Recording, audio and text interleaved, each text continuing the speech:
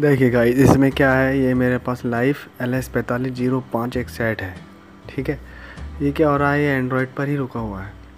इसको मैंने फ्लैश करना है। इसके लिए सबसे पहले मैंने इसकी फ़ाइल लोड कर ली, ठीक है? आपको प्रोसीजर समझना है कैसे करना है। इसमें क्वालकॉम का सी लगा क्वालकॉम वाले CPU जितने भी सेट होते हैं, किसी भी कंपनी का हो, उसको कैसे फ्लैश करते हैं, ठीक है? मैंने इसका यूएमटी टूल खोल लिया क्यू फायर अब सबसे पहले मैं आपको दिखा देता हूँ किन किन ऑप्शन पे क्लिक करना है। ठीक है? देखिए, मैं प्रोग्राम पर आया और यहाँ से मैं फ़ाइल लोकेशन पर जाऊँगा, जहाँ मैंने फ़ाइल एल एस पैंतालीस ज़ीरो पाँच सेव की है। ये मैंने डाउनलोड में सेव की हुई है और ये देखिए, मैंने इसको, ये फ़ाइल को ओपन कर लिया। अब मैं इसके फॉर्मवेयर में जाता हूँ। हमेशा फॉर्मवेयर में ही फ़ाइल होती है।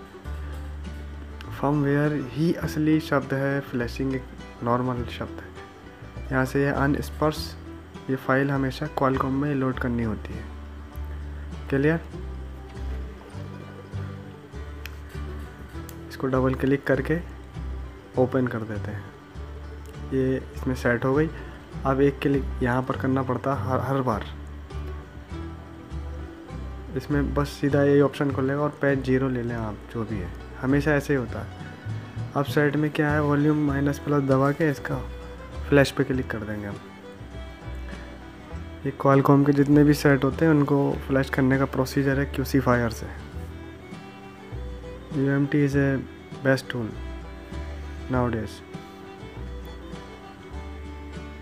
main मुद्दा आपको समझाना ये है कि ये कैसे फ्लैशिंग करनी है, ठीक है? आप जैसे आप हार्डवेयर कर रहे हैं, देखिए मैंने लगा दिया। अभी ड्राइवर का इंस्टॉलेशन हो रहा है और ये टूल ने डिटेक्ट कर लिया उसको। इसको फ्लैश को प्रोसेस कर देगा, ठीक है? इसी तरह करना है। मेन बात यह है कि जो लोग रिपेयरिंग जानते हैं, हार्डवेयर करते हैं, काफ़ी साल से काम कर रहे हैं, मगर वो सॉफ्टवेयर छूते ही नहीं, करते ही नहीं। तीन, चार, पाँच मोबाइल दस मोबाइल रोज़ उनके पास आते हैं फ्लैशिंग के अनलॉकिंग के, इनके, उनके, ये सब वो कर नहीं पाते। ठीक है? तो उसमें कैसे करना है? ये एक पूरा कोर्स है उसमें सारा। ये बताया जाता है। ठीक है, चलिए फ्लैश करते हैं इसको। ओके